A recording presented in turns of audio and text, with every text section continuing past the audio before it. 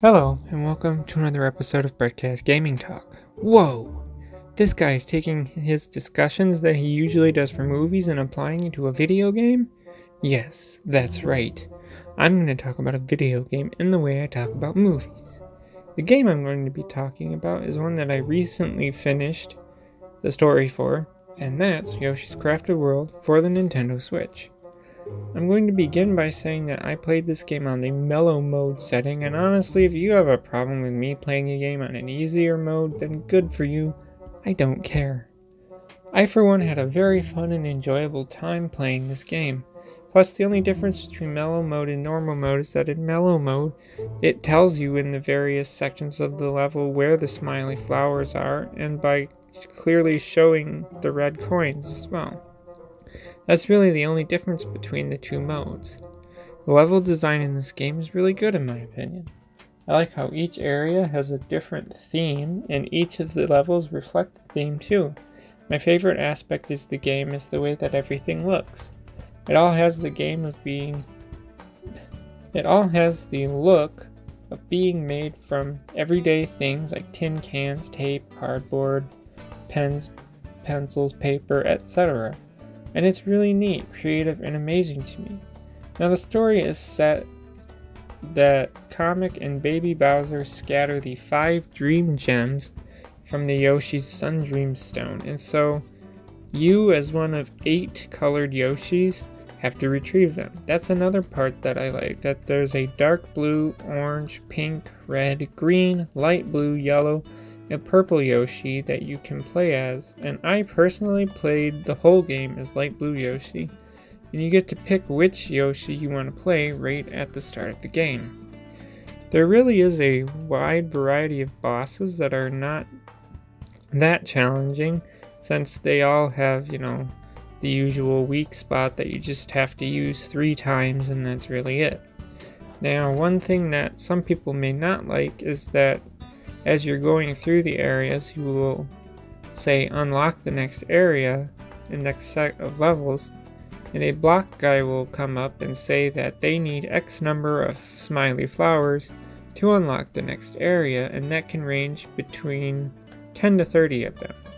Now, in each level, there are 5 to 9 that you find, and 3 additional ones if you get more than 100 coins, have full health at the end of the level, and found all the red coins in the level. This was an aspect that before I got the game I thought I would hate because I've tried to play games like New Super Mario Bros. 2 on the 3DS that was a boring and not fun collectathon where you know you had to get a certain amount of things to be able to go on. But I had no problem with at least finding all or most of the smiley flowers in the levels and had no issues getting to the areas. Now, when I got to the last level, um, I had 70 smiley flowers, and the last level required 30 to be unlocked, so I was fine with that. Now, once you beat the game in the story mode, um, you unlock a new area called the Hidden Hills. The first area needed 30 smiley flowers to unlock, so I did that and I had 10 left. I found all 6 in the level, plus 1 for getting at least 100 coins, so 7 more, so that I had 17 of them. Well, the next section of the area needed another 30 smiley flowers to unlock, which is a little disappointing, but I knew what to do. Something that adds to the replay value of the game is that not only can you play each level the normal way, but you can play them on the flip side to locate three Poochy pups in each level. You get one smiley flower per pup, plus an additional one for finding them all within a certain amount of time. That's the point that I am in the game, is at least finding all three pups in the levels so I can get through the hidden hills. I really do love and enjoy this game. This is only my second Yoshi game, the first being Poochy and Yoshi's Woolly World on the 3DS, and I really enjoyed that game, which is why I wanted to play that, or this game. I love this game, and I love the two Yoshi games that I have played, and I'm working on a third one, being Yoshi's New Island on the 3DS. This game is just good, and it's fun, and it's so cute looking and adorable, and I'm glad I'm not quite done with it. I hope they make another Yoshi game for the Switch because I really want another one.